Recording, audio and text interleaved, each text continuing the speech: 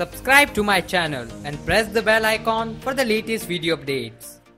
नमस्कार दोस्तों, मेरा नाम है अर्पित और आज मैं आपको बताऊँगा साइलस मार्नर के 14 चैप्टर के बारे में। तो दोस्तों, आप देखते रहिए ये वीडियो और इस वीडियो के एंड में मैं आपको बताऊँगा कुछ इंपॉर्टेंट क्वेश्चन जो कि एग्ज़ाम में आते रहते हैं।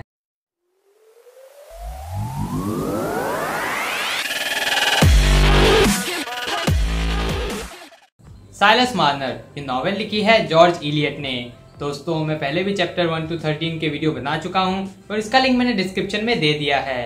चैप्टर थर्टीन में हमने पढ़ा था कि साइलस मार्नर एक बच्चे को लेकर डॉक्टर की तलाश में रेवोलॉय में घूमता रहता है और वो अनफॉर्चुनेटली उस प्लेस पे पहुँच जाता है जहाँ पर सभी लोग न्यू ईयर के फ़ंक्शन के लिए गैदर हुए थे मतलब रेड हाउस पर पहुँच जाता है।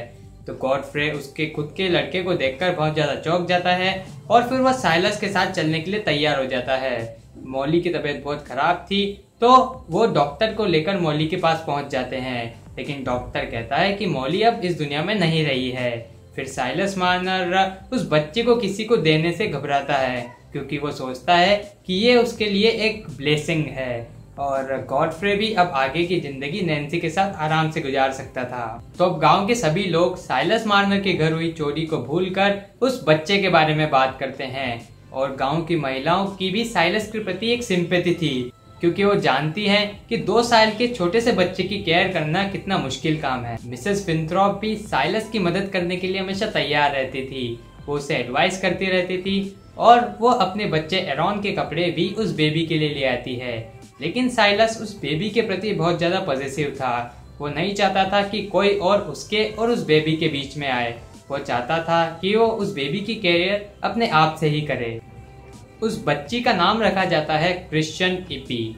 Eppie Silas Marner की ज़िंदगी में बहुत सारे कलर्स ले आती है और साइलस को जीने का एक पर्पस मिल जाता है, जो कि अभी तक नहीं था। इपी खुद तो खुश रहती थी और वो आसपास के सभी लोगों में भी खुशियाँ फैलाती थी। नाइबरहुड के सभी लोग भी इपी को प्यार करना चाहते थे और वो उससे बातें करना चाहते थे। साइलस अभी तक अपने आसपास के लोगों से बातें नहीं करता था। लेकिन जब से ईपी आई थी, जब से उसकी दुनिया को देखने का नज़रिया एकदम बदल चुका था और ऐसा लग रहा था कि कोई एंजल साइलस मानर को डार्कनेस भरी ज़िंदगी से एक बहुत ही ब्राइट लाइफ की तरफ़ गाइड कर रहा हो। साइलस को जीने का एक नया ज़रिया मिल गया था। तो दोस्तों, इस चैप्टर में इतना ही। अब मैं आपको बताऊँगा एक इम्पोर्टेंट क्वेश्चन जो एग्ज़ाम में आता रहता है। तो क्वेश्चन है how did the life of Silas Marner change with the entry of the child in his cottage मतलब साइलस की ज़िंदगी कैसे बदल गई एक बच्ची के उसके कॉटेज में आने से। तो अभी तक साइलस अपने आसपास के लोगों से ज़्यादा बात नहीं करता था। लेकिन जब से ईपी आई थी, तब से नाइबरहुड के लोगों का उसके घर में आना जाना बढ़ गया था और वह उन लोगों से इंटरेक्शन भी करने लग गया था। और ऐसा लग रहा था कि ईपी एक एंजल की तरह उसे गाइड कर रही हो डार्कनेस से ब्राइटनेस की तरफ़। So far, he remained closed inside the cottage.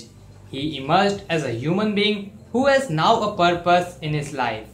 तो दोस्तों इस वीडियो में इतना ही। मुझे उम्मीद है कि आपको वीडियो पसंद आया होगा।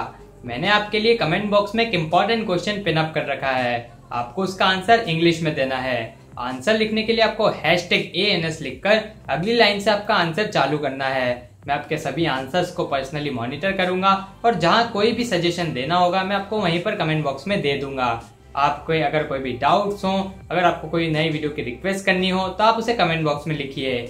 और अगर आपको लास्ट फाइव ईयर्स के क्वेश्चन पेपर चाहिए हो तो मैंने उसका लिंक डिस्क्रिप्शन में दे दिया है। आप मेरे चैनल को भी सब्सक्राइब कर लीजिएगा, क्योंकि इससे मुझे और भी वीडियोस बनाने के लिए मोटिवेशन मिलता है। सब्सक्राइब बटन के पास बने एक बेल आइकन को भी आप दबा दीजिएगा, ताकि मेरे चैनल के लेटेस्ट अपडेट्स आपसे मिस न हो। तो दोस्तों धन्यवाद। जय हिंद जय भारत।